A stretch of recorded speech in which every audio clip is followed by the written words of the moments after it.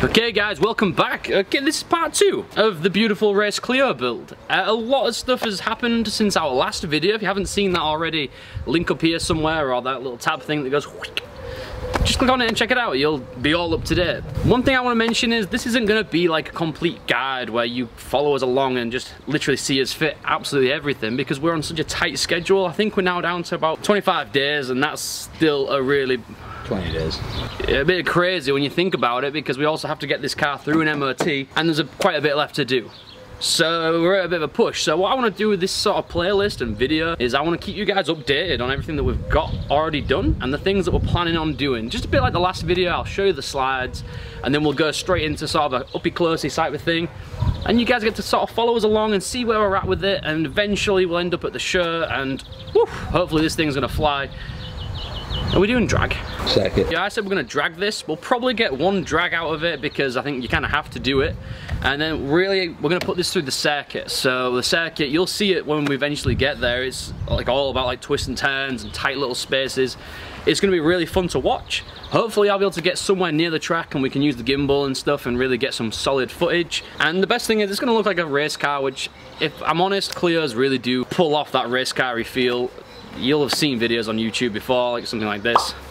Killer. What I'm gonna do right now is I'm gonna give you a list again of the things that we've done and the things we still have left to achieve. So now, straight into it, the list of what we've done and the things that we need to do. Number one, we've fitted a roll cage, we've painted the inside, we've also fitted Perspex windows, Sexy. We fitted the dashboard. We've got the Turn 1 steering wheel and boss. Huge front bumper brake ducts. They look sexy as hell. And the front bumper where the fog lights would be, I'm going to show you in the video, but whew, they look smooth.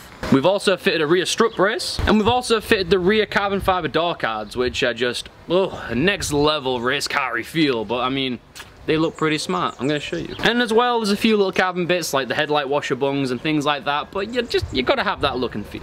But what I need to do now is just tell you guys about the things we still have left to do, and believe me, there is a list. So, front mounted cooling fan, fabricate the seat mount, fit the harnesses, fix the bleed nipple, exhaust mount, give it a whole service. And we need to polish the headlights, they've gone all horrible and yellow. I'm gonna make a separate video about that as well, because the way that people tell you to do it, and I think the way that actually works is completely different. So that's gonna make a good episode, so hopefully you guys will enjoy enjoyed that. We need to paint the front doors and then fit the carbon door skins, fit the toe strap, fit the internal door handles, reroute the window switches, fit the aero catches on the bonnet. We need to fit a heel plate for the driver. There's still a lot to do and obviously we still need to give it that MOT which is going to be a, oh it's going to be an effort but hopefully we'll do this all right and make it as easy as possible. So rather than just keep make this a really long video and tell you absolutely everything, I'm going to just flip the camera around to give you the sort of close-up video and show you what we've done. Okay,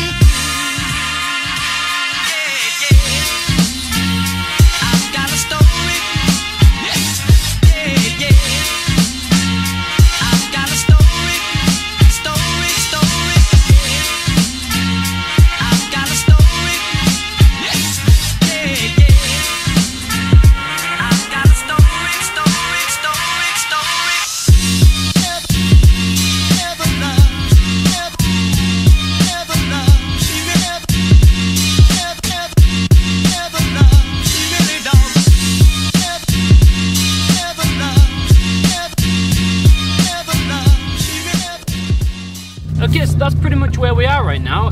It may not look like an absolute shit ton of stuff that we've done, but really it's been a really big hassle. The roll cage for one was an absolute nightmare.